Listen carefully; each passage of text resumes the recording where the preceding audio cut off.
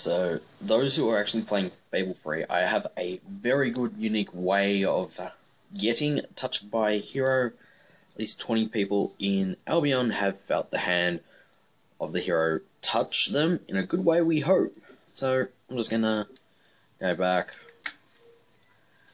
As you can see, I have it on the wall here. Just go back to the map room. Okay.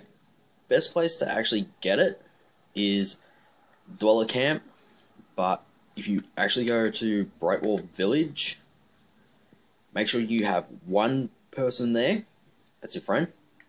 Then go to Dweller Camp and just get it all, get all the rest from there after you hand in the quest, and you'll be able to pop the achievement like I have. Also, another way is if you have finished the game and you actually missed it, you can actually do it, but it will take a bit longer because everyone will love you.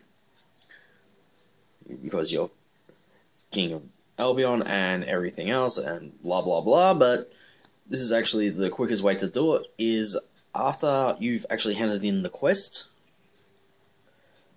for the dweller camp that's been actually set for you. So it's pretty much straightforward. Go to Brightwall Village, go to the chamber, get the thing, which is actually the music box.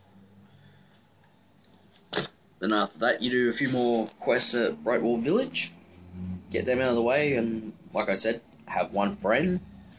And then the other 19 you can actually get at the Dweller Camp, which I just did. And we'll pop the Touched by a Hero achievement.